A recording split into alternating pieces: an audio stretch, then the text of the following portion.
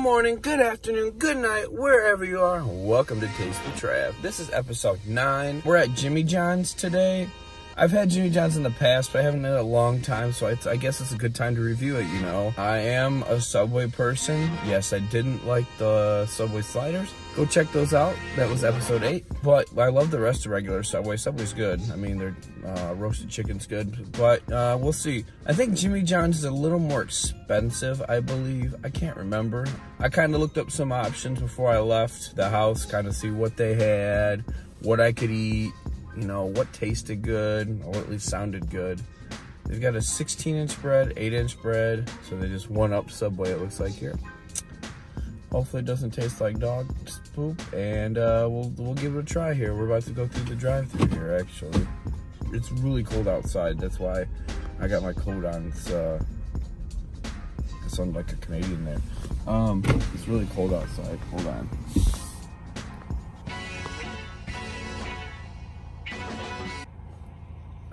Open? Hello? You're good. Can I get the uh can I get the Pepe minus the mayo for uh the eight inch? Um I can I get a um can I get a regular bag of chips it says? No, that'll be all.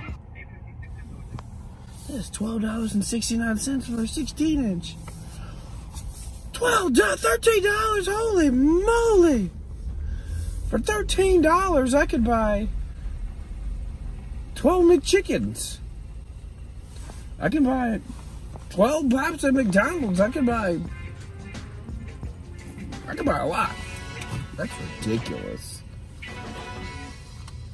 Jesus Christ! Oh, I got two dollars. Nope, no, I got the credit card.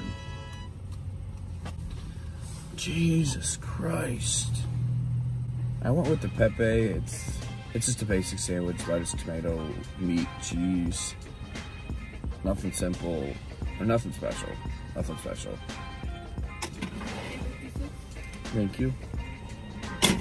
Eight dollars for half a Subway, or half a sandwich, and a bag of chips. That's freaking ridiculous.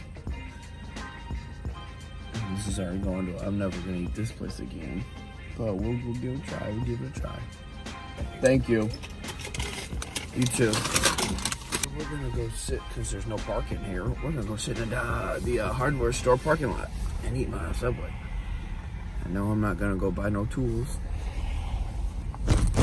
Ooh, ooh, baby. Whoa, a little bumpy there.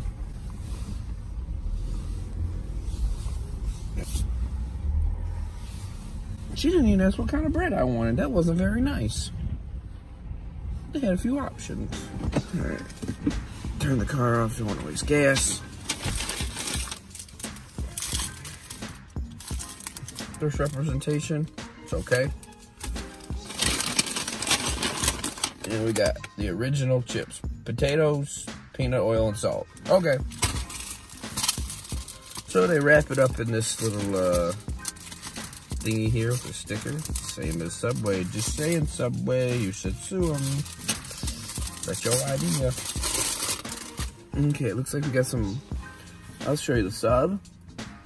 There's some lettuce, some tomato. She didn't put no damn cheese on it.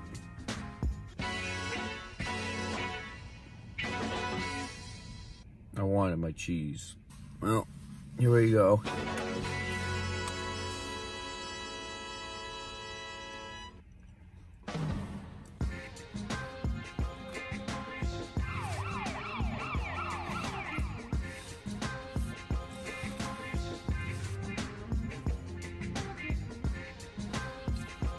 Okay.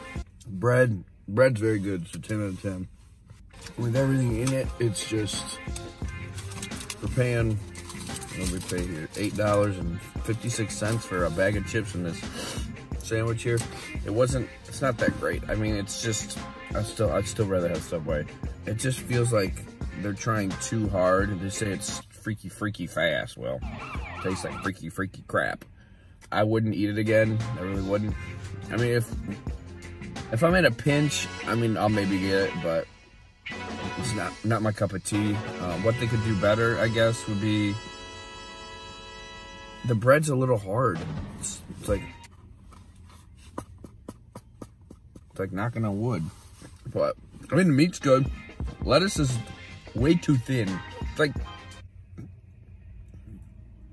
thumbtack thin. I don't know. Thumbtack thin. I was thinking about this week's message, you know, over the weekend, and what what, would what what would be a good thing to tell the world. With that being said, don't let yourself down if you don't accomplish your goals for 2020 right away. Um, it's a process. Nothing gets done overnight. Nothing gets done in a week, and nothing gets done in a month. Take care of yourself. Love yourself this year, and figure out who you are before you love somebody else. Have a great day.